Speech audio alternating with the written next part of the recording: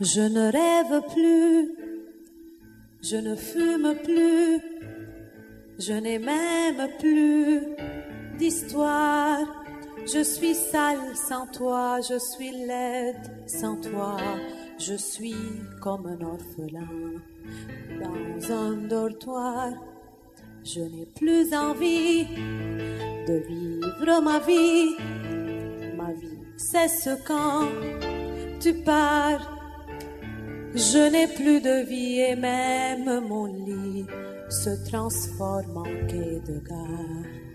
Quand tu t'en vas, je suis malade, complètement malade, comme quand ma mère sortait le soir